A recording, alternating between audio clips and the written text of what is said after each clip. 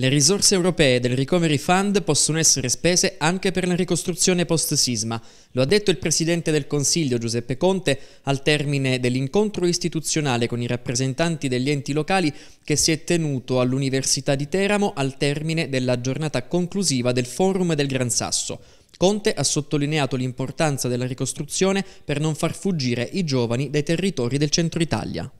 Sicuramente il Recovery Fund, eh, eh, il progetto di ricostruzione e alcune specifiche diciamo, articolazioni di questo progetto di ricostruzione possono entrare anche nel Recovery Fund, ne abbiamo parlato anche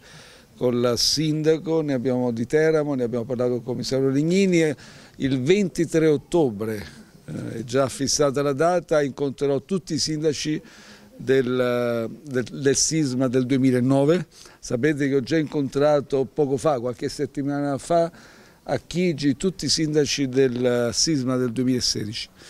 Continuiamo a lavorare, come ho sempre detto, la ricostruzione è un percorso lungo, è un percorso però adesso abbiamo trovato la strada, abbiamo eh, introdotto varie norme che sbloccano la burocrazia, favoriscono la ricostruzione privata, anche pubblica,